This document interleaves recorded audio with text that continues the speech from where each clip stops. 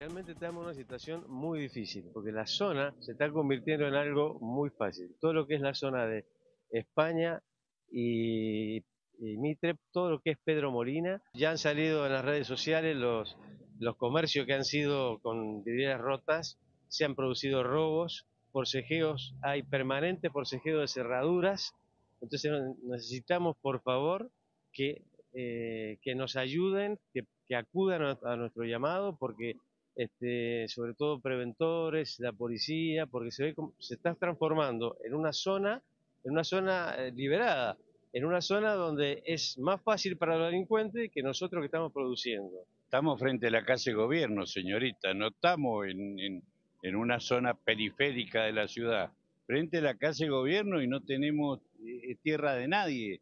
Esto en la noche da miedo dice que eh, tienen que atender con reja. Sí, nosotras somos mujeres solas y atendemos con reja. Igual le pedimos al señor intendente si puede eh, mandar más seguridad acá a la zona. Nosotros abrimos muy temprano, 7 de la mañana hasta las 9 de la noche.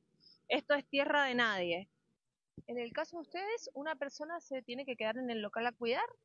el otro día eh, tuvo que, o sea, tuvimos que hacer eso porque se habían robado hasta la reja entonces eh, se tuvo que quedar alguien en la noche cuidando y bueno, la semana pasada pegaron un piedrazo a una de las ventanas, entraron a robar eh, y nada, el tema de nosotras también es que abrimos a las 7 de la mañana, o sea, es muy de noche, no hay nadie. O sea, no sabemos qué hacer, eh, tenemos que dejar las luces prendidas, pero es un tema porque también después hay que pagarla.